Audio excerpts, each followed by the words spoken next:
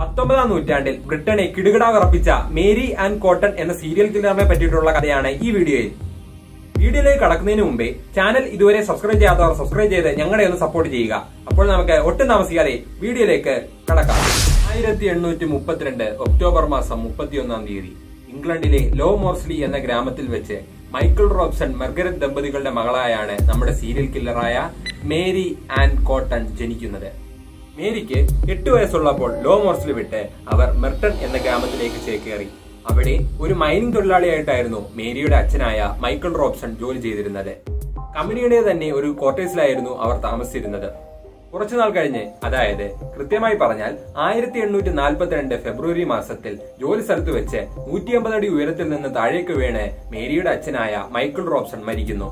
അതിനുശേഷം മേരിയുടെ അമ്മയായ മർഗരറ്റ് മറ്റൊരു മൈനിങ് തൊഴിലാളിയെ അതായത് ജോർജ് സ്റ്റോട്ടിനെ വിവാഹം കഴിക്കുന്നു. അതിനുശേഷമാണ് കൊലപാതകങ്ങൾ ആരംഭിക്കുന്നത്.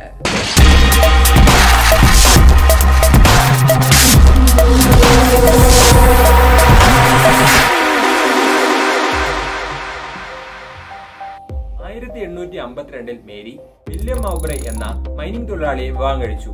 അതിനുശേഷം അവർ സൗത്ത് വെസ്റ്റ് ഇംഗ്ലണ്ടിലേക്ക് താമസം മാറി ഈ ദമ്പതികൾക്ക് അഞ്ചു കുഞ്ഞുങ്ങൾ ജനിച്ചു. അതിൽ നാലു പേരും ജനിച്ചിട്ട് കുറച്ചുനാൾ കഴിഞ്ഞപ്പോൾ തന്നെ മരണമടയുകയും ചെയ്തു.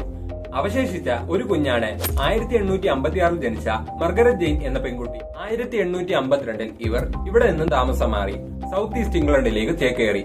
ഇവിടെ ഇവരുടെ ഭർത്താവായ വില്യം മൗബറെ ഒരു കമ്പനിയിൽ ഫയർമാൻ ആയിട്ടായിരുന്നു ജോലി ചെയ്തിരുന്നത്. ഇവിടെ വെച്ച് ഇവർക്ക് ഇസബെല്ല എന്നൊരു പെൺകുട്ടി ആയിരത്തി എണ്ണൂറ്റി അമ്പത്തി എട്ടിൽ ജനിക്കുകയുണ്ടായി.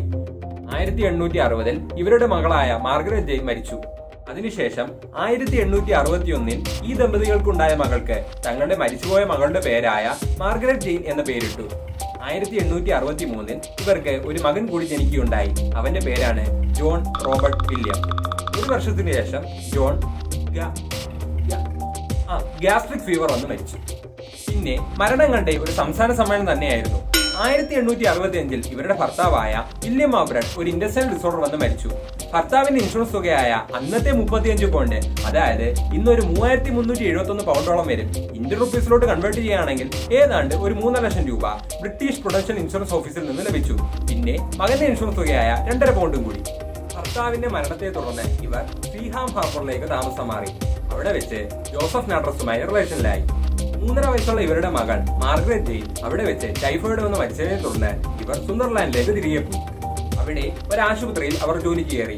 അതിനുശേഷം അവരുടെ ജീവിച്ചിരുന്ന ഏക മകളായ ഇസബെല്ലയെ മേരിയുടെ അമ്മയായ മാർഗരറ്റിനോടൊപ്പം അവർ പറഞ്ഞയച്ചു. ആ ആശുപത്രിയിലെ പേഷ്യന്റായ ജോർജ് വാർഡിനെ ആയിരത്തി എണ്ണൂറ്റി അറുപത്തി അഞ്ച് ഓഗസ്റ്റ് മാസം ഇരുപത്തിയെട്ടാം തീയതി അവർ വിവാഹം കഴിച്ചു. നിരന്തരമായ ആരോഗ്യ പ്രശ്നങ്ങൾ നേരിട്ടിരുന്ന ജോർജ് വാർഡ് ആയിരത്തി എണ്ണൂറ്റി അറുപത്തിയാറ് ഒക്ടോബർ മാസം ഇരുപതാം തീയതി മരണമടഞ്ഞു. ടൈഫോയിഡ് ആയിരുന്നു മരണകാരണം. അതിനുശേഷമാണ് പുള്ളിക്കാരുടെ സ്ഥിരം പരിപാടി നടക്കുന്നത്. അതായത് നമ്മുടെ ഇൻഷുറൻസ് തുക കൈപ്പറ്റുന്ന പരിപാടിയെ.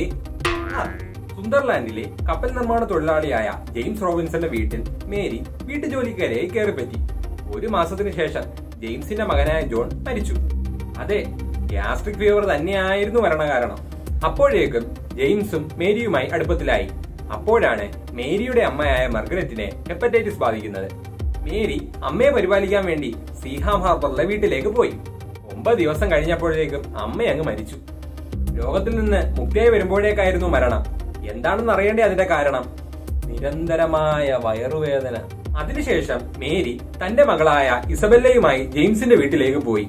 വൈകാതെ തന്നെ അമിതമായ വയറുവേദന ഇസബെല്ലയും അങ്ങ് കൊണ്ടുപോയി. പതിവിന് വിപരീതം ഒന്നും സംഭവിച്ചില്ല.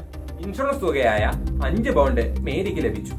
ആയിരത്തി എണ്ണൂറ്റി അറുപത്തി ഏഴ് ഓഗസ്റ്റ് മാസം പതിനൊന്നാം തീയതി മേരി ജെയിംസിനെ വിവാഹം കഴിച്ചു. ആ ദമ്പതികൾക്ക് രണ്ട് കുഞ്ഞുങ്ങളും ജനിച്ചു. മാർഗരറ്റ് ഇസബല്ലയും ജോർജും. ആയിരത്തി എണ്ണൂറ്റി അറുപത്തി എട്ട് ഫെബ്രുവരിയിൽ മാർഗരറ്റ് ഇസബല്ല മരിച്ചു. നിരന്തരമായി ജെയിംസിനോട് ഇൻഷുറൻസ് പുതുക്കിയെന്നും അതേപോലെ ജെയിംസിന്റെ കൈവശമുള്ള പണം മേരി മോഷ്ടിക്കുന്നത് കണ്ടതിനെ തുടർന്ന് മേരിയെ ജെയിംസ് അങ്ങ് ഇറക്കി വിട്ടു ജെയിംസ് സേഫ്. അങ്ങനെ ഇരിക്കുമ്പോഴാണ് മേരിയുടെ കൂട്ടുകാരിയായ മാർഗരറ്റ് കോട്ടൺ അവരുടെ സഹോദരനായ ഫെഡറിക് കോട്ടനെ മേരിയുമായി പരിചയപ്പെടുത്തുന്നത്. ഈ പുള്ളിക്കാരന്റെ ഭാര്യയും നാല് മക്കളിൽ രണ്ടുപേരും നേരത്തെ മരിച്ചു പോയിരുന്നു. മാർഗരറ്റ് കോട്ടൺ ആയിരുന്നു ഈ രണ്ട് മക്കളെയും നേരത്തെ നോക്കിയിരുന്നത്. ഇങ്ങനെ ഇരിക്കുമ്പോഴാണ് മാർഗരറ്റ് കോട്ടൺ വയറുവേന വന്ന് മരിക്കുന്നത്. ആയിരത്തി എണ്ണൂറ്റി എഴുപത് സെപ്റ്റംബർ പതിനേഴിന് മേരിയും ഫെഡറിക്കും തമ്മിൽ വിവാഹിതരായി ഈ ദമ്പതികൾക്ക് ജനിച്ച മകനാണ് റോബർട്ട്. അപ്പോഴാണ് മേരിയുടെ പഴയ കാമുകനായ നമ്മുടെ സിംഹ ഒരു മേരി പരിചയപ്പെട്ട. ആ അത് തന്നെ. ജോസഫ് നാഡ്രസ് ഈ പുള്ളിക്കാരൻ ഇവരുടെ വീട്ടിൽ നിന്ന് നാൽപ്പത്തിയെട്ട് കിലോമീറ്റർ മാത്രം ദൂരെയുള്ള ഒരു വില്ലയിലാണ് താമസിക്കുന്നതെന്ന് ഈ പുള്ളിക്കാരൻ ഇതുവരെയും കല്യാണം കഴിച്ചിട്ടില്ല എന്ന് മേരി അറിയുന്നത്. മേരിയുടെ നിർബന്ധപ്രകാരം ഇവർ ജോസഫ് നാട്രസിന്റെ വീടിന്റെ അടുത്തേക്ക് താമസം മാറി. ആ വർഷം തന്നെ ഡിസംബറിൽ ഫെഡറിക് കോട്ടൻ ഗ്യാസ്ട്രിക് ഫീവർ വന്ന്. മേരി കൈപ്പറ്റാൻ മറന്നില്ല കേട്ടോ. അതിനുശേഷം മേരി സ്മോൾ ബോക്സ് ബാധിച്ച എക്സൈസ് ഓഫീസറായ റിച്ചർഡ് ക്വിക്മാനെ ചികിത്സിക്കാൻ വേണ്ടി പോയി. അവിടെ വെച്ച് അവർ സ്നേഹത്തിലാവുകയും ഗർഭിണിയാവുകയും ചെയ്തു.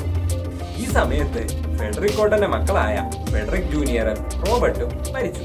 അതിനുശേഷം ജോസഫ് നഡ്രസ് മേരിക്ക് ഫേവറായി വിൽപത്രം എഴുതിയതിന് തൊട്ടു പിന്നാലെ അയാളും ഗ്യാസ്ട്രിക് ഫീവർ വന്ന് പിന്നീട് സ്മോൾ പോക്സ് ബാധിതയായ സ്ത്രീയെ ചികിത്സിക്കാൻ പാരിഷ് ഒഫീഷ്യൽ മേരിനെ ചുമതലപ്പെടുത്തി. ഫെഡറിക് കോട്ടന്റെ മറ്റൊരു മകനായ ആ ഫെഡറിക്കോട്ടന് മൂന്ന് മക്കളില്ലായിരുന്നു. അതിൽ അവശേഷിക്കുന്ന ഒരു മകനായ ചാൾസിന് ഒരു ജോലി കൊടുക്കാൻ തോമസ് പിള്ളയോട് മേരി ആവശ്യപ്പെട്ടു.